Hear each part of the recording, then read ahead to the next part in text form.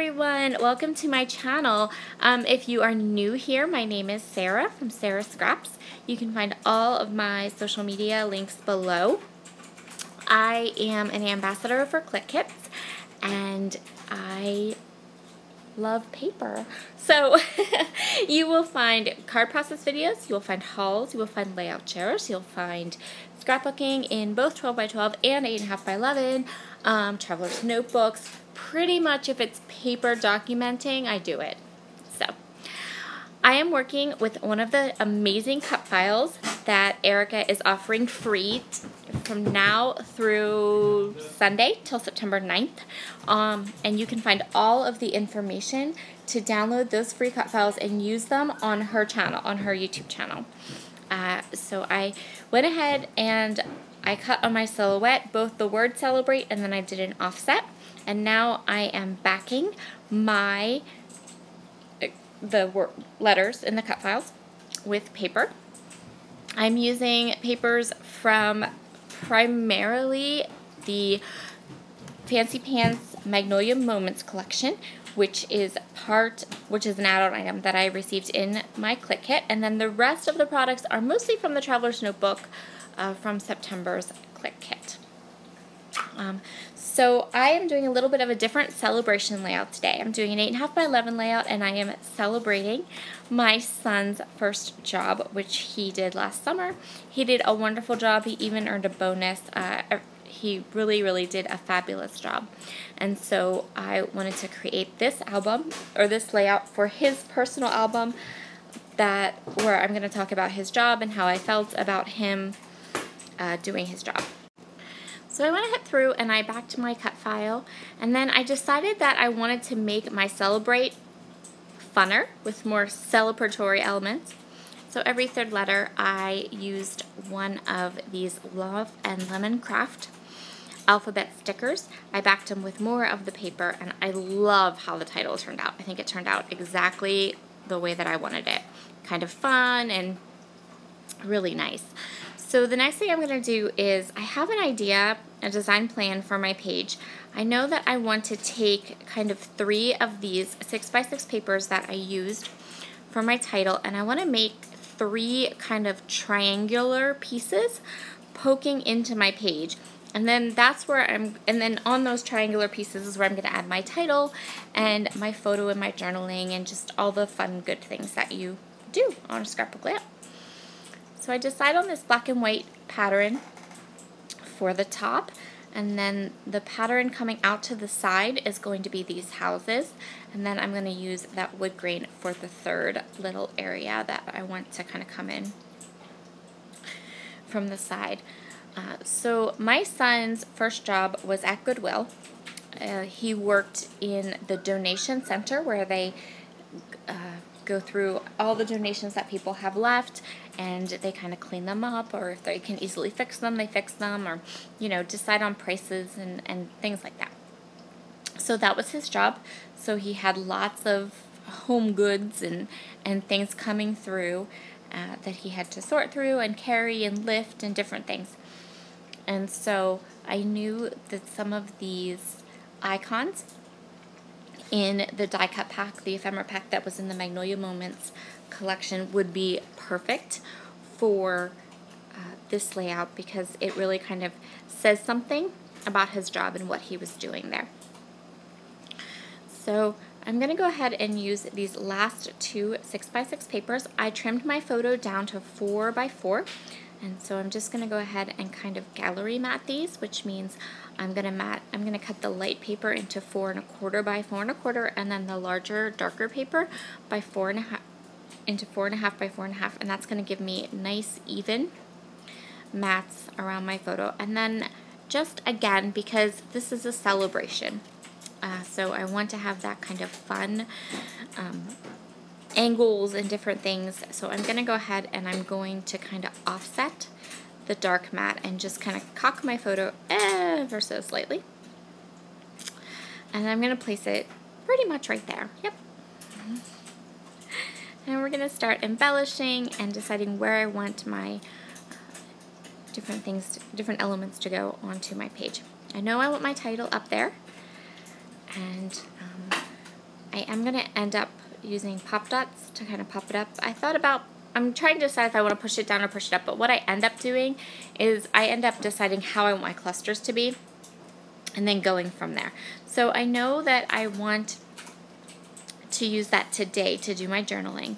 And I love these craft tags that came in the kit from Jillibean Soup, but I don't necessarily need it to say, I don't want it to say anything, so I'm going to kind of cover it up and just leave it as layers behind my photos, or behind my journaling. Um, so I'm just going to go through here, and I've, some of these die cuts I've chosen and I know what I want to do. Initially I had kind of felt like I wanted to do some of these fun kind of manly flowers um, that are in there, but I changed my mind completely. I totally changed it up because I decided that I'm never going to find another page where something like this fan or um, the old style telephone is going to be relevant to what I'm talking about than this page.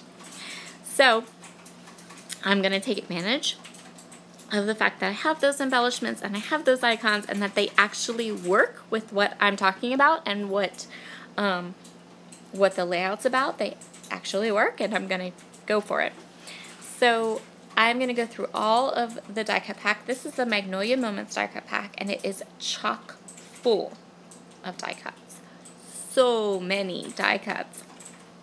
If you're uh, new to my channel, go back in and watch my unboxing of this Clique Kit.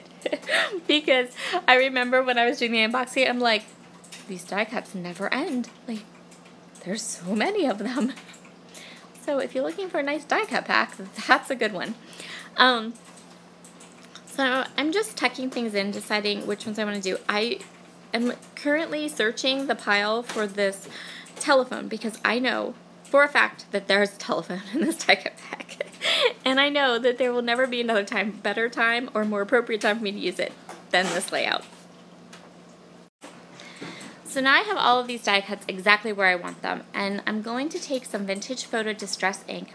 I'm going to ink all of the die cut pieces up, and then place them in their clusters. I've also added some flair. This flair is um, was part of the Clique Kits September kit. It was an add-on, but it was designed by Lacey Gasper, who is Lacey Bug Design Creations, Lacey Bug Creations on Etsy. She has a beautiful shop with tons of gorgeous flair.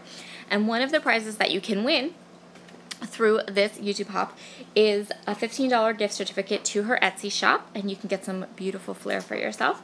There's also a gift certificate to Clique Kits, a $25 gift certificate to Clique Kits up for grabs. And then Erica has also donated a prize pack um, worth of worth $50 of just lots of scrapbooking goodies. So it's like a little grab bag of amazingness. Uh, so make sure that you are subscribed to Erica's channel and comment along the hop and then you can be entered to win. So you just have to be a subscriber to Erica's channel and then comment all along the hop on everybody's videos. So it's going to be amazing. So many prizes, so much fun. Um, I'm super happy with how my layout turned out for this hop. And um, yeah, so I'm going to go ahead and grab this title piece now that I want to use. I'm going to pull off all of the foam squares and I'm going to make it crooked and then I'm going to have to go back and pull it all up and make it straight again. And I don't remember if I left that part in the video or not, but if you're looking at it going, it's way crooked, it is indeed. And at some point I figured that out and I put it back in. I'm just going to tack this, um, the string for the tag down with some Nuvo Deluxe adhesive and I'm going to hold it there for long enough till I feel like I can pick my finger up and the, and the little tail of the tag isn't going to go flying into everywhere.